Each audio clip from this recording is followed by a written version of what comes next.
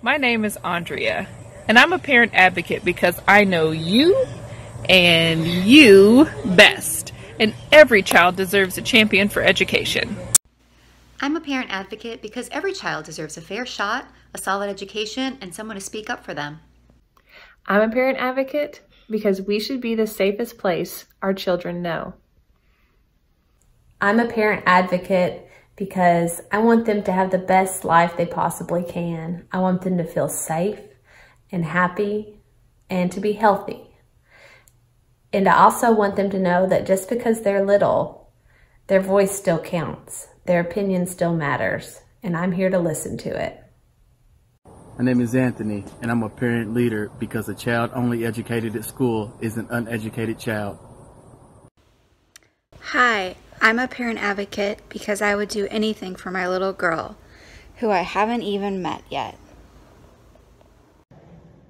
I am a parent advocate not only because I want my children to have access and opportunity for the best education available, but also because I spent some time working in workforce development and with the Department of Workforce Investment. And I know from working with employers that they are in need of individuals with skill sets that match the demands of their ever changing workforce and to have those transferable skills that will make them successful. I'm a parent advocate because as a PTA president, I've discovered that I have 44,000 wonderful babies in Fayette County who deserve a voice. I believe that every child has the right to an equitable education, and sometimes they don't have all of the tools that they need to receive that. Aside from my four children that I have raised, I feel like every child in Fayette County Public Schools deserves the same opportunities that they have received.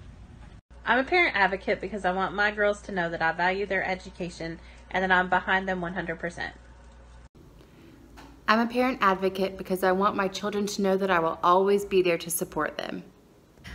I am a parent advocate because I want to make sure my children's voices are heard and their needs are met. I'm a parent advocate because I want these two guys to know I'm always watching. but more importantly, I'm their number one fan.